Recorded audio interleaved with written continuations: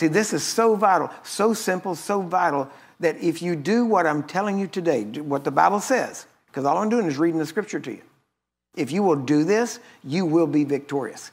You will keep yourself, and the wicked one will not touch you. He will not attach himself to you. Amen? But you actually have to do it.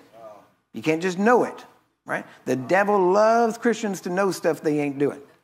Why? Because, listen, whatever, whatever, whatever you know, that level of problem is equal, okay? In other words, whatever you know, that level of problem to that point is allowed in your life. Not, not by God, okay? But understand what you know. Why? Because what you know, the, the, the enemy cometh immediately. So you learn truth.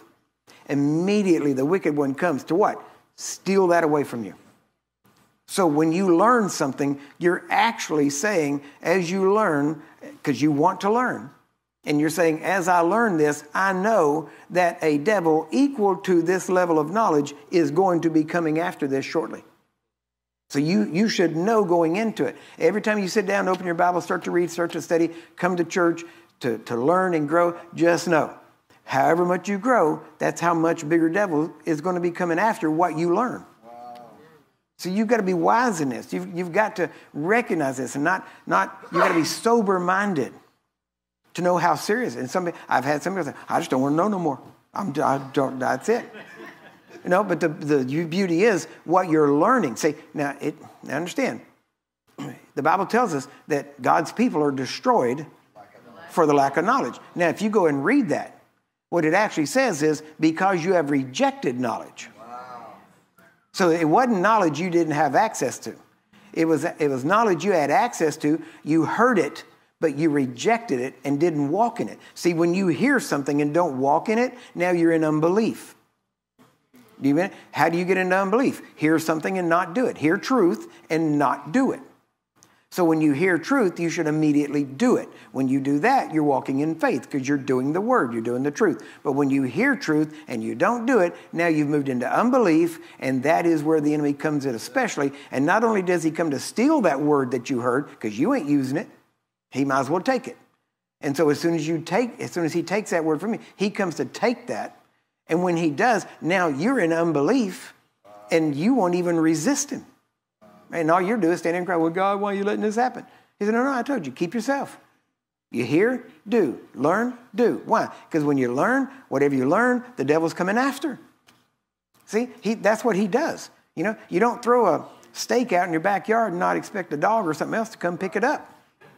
Amen? And the stronger word you get, the more the devil wants to come steal it because he don't want you walking in it. And so you started walking. But now notice, there is nothing that you can face that with that problem that God has not made a way out, a way of escape. Now, that, now understand, that way of escape, that does not mean, because we use the word escape in, in English, it does not mean to escape in the sense of run away from in terror. That's not our job, that's the devil's job. See, we don't run away in terror. To escape means to get out from under that attack, which means to win that attack, to win over it. Why? Because you're not called to be an undercover, undercomer, okay, but an overcomer. Does that make sense? So you are to overcome. So whatever comes to you, you now listen, whatever you face, you have the access to the knowledge, to the power, whatever it is you need, you have access to that to apply that to that situation and you can overcome. There is nothing that you can face that God has not given you the knowledge, the wisdom, the power, whatever it is that you need to overcome it. Do you understand that? Now, the problem is when you're in the middle of the fight, it's sometimes a little harder to remember things that were told you a little while back. So sometimes you kind of forget that you have the information, information you need to win. And you're just, all of a sudden, now you're in your emotions, going, oh God, why me? Why this? What's happening? And he said, no, no, no, think back. Remember what I told you last week? Remember what you heard last week? Now's the time to apply that. If you apply that, you will win. He always provides. God is, he's smart. God applies, God gives you the things you need before you need them because he knows what's coming. That's why when I first started teaching the DHT, I told people, I said, listen, if this message died out for 70 years and now God is resurrecting it and bringing it out, what does that mean? That means we're going to need this message. And lo and behold, 2020 came. Yeah, right. And the people that were strong in this message are still strong today. Amen? They didn't shut down, they didn't run, they didn't do all that kind of stuff, and they didn't cave in. Amen?